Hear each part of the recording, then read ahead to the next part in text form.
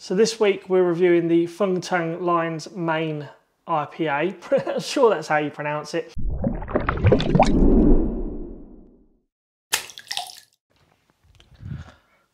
Hi, if we haven't met before, my name's Dan. Welcome to Vegan Alcohol Free Reviews. Check out my channel trailer to find out what makes a lot of alcohol and alcohol free drinks non vegan friendly. You'll be quite surprised, and there's also a little bit about me and my journey in there.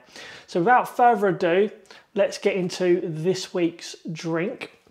Now, I just recorded this video but didn't have, have the sound switched on. So I've already opened it I've already poured it into a glass. What can I say? I'll go back over basically what I was saying. Let me just put that back down. On the back, uh, you may or may not be able to see this, but it's actually got the, it's quite dark. It's got logos basically. Uh, so the ingredients is hops, barley, oats, malt, yeast, lion's mane and water.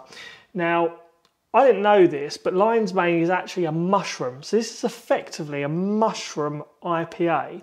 Different. From a can, I haven't tasted it from a glass yet. I noticed that the sound wasn't on at this point.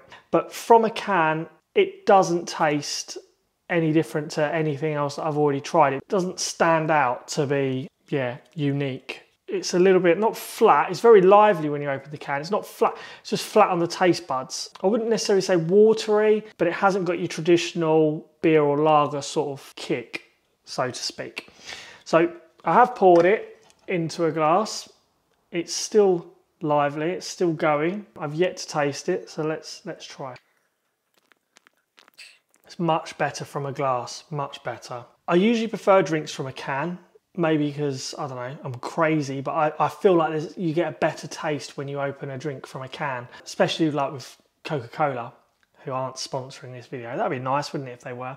But from a glass, this is, yeah, this is much better. It's not fantastic. You won't see me singing from the rooftops, it's praises, but um, it's a lot better from a glass than it is, it is from a can. I won't drink too much of it at this moment. But on the back, it basically says, yeah, it's vegan, it's gluten free, serve cold, and please recycle. I must admit, I like the packaging. The packaging is really good. It's it's got like a plastic film to it on, on the outside, so it's not it's not just been printed onto the can. There's like a, a plastic kind of covering.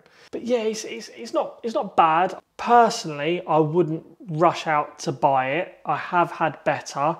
Check out this video here uh, on the nanny state from Brewdog. That's probably still my favourite, or Left, that they also do a nice alcohol-free version. A special thanks to Kate Lizzie from tametipple.co.uk for sending this to me. Um, check out the link in the description below, you'll get a discount. They offer vegan and gluten-free drinks and snacks. Deliveries, next day delivery, it's just amazing.